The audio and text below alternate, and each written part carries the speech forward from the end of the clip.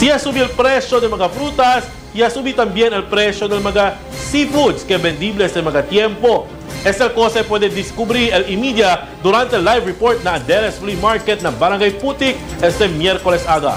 Igual na lang con el Locon que del Pascua lang, el precio taman range lang na 600 para 800 pesos, pero este mga tiempo 800 para 1,000 pesos ya el kilo.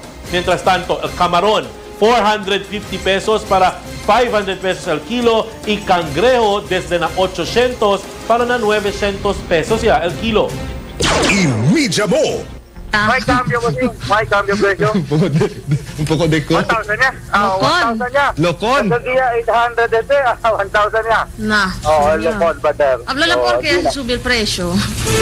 Sabi, ito tas kung kanta sila na supplier. Kwanto na supplier, subiya niya, subidang grande tayo ngayon, sir, no? Oh, may grande kayo. Yes, sir, ito, ah. dyan, dyan na best partner, ta depende tayo na grandor. Eh, dito tayo mga kwanto po po. 900, 800. Oo, 8, 9, 1,000. Pero presko ka tamin oh. Oo. kat Y Mijamo. Mientras tanto, el precio del curacha ya subió también donde taman range ahora na 500 para 600 pesos el kilo. Stone crab, 400 el kilo. Banagan o lobster, 2,000 el kilo. Y para con aquellos también quieren man sweet and sour. Na New Year, taman range también na 6 para 800 pesos el kilo del lapu-lapu este mga tiempo. Y Mijamo. kwanto? 600. Oo, oo. Quanto el kilo partner?